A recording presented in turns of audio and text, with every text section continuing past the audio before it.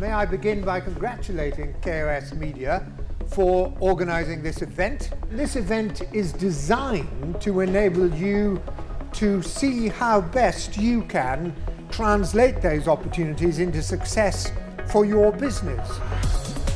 So here it is, Business Week Live 2010. It's all come together. We've heard from Lord Howard, our opening speaker today, that the timing is perfect.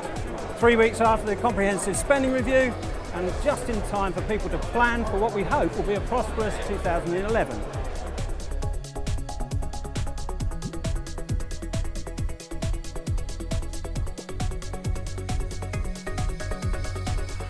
This is a very good initiative for businesses in Kent, very exciting. This sort of event is, is perfect for us to meet new customers, potentially new businesses, um, to expose our products and our brand. It's Really important for me to be among people in the private sector. We've also come to have a look at the, uh, to listen to the seminars.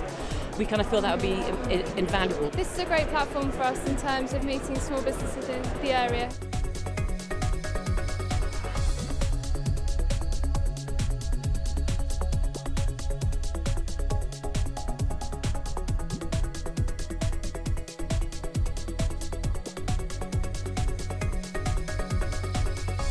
You represent the future of our country. This event is designed to help you make the most of the opportunities that are in front of you, and I'm sure that you will benefit greatly from it.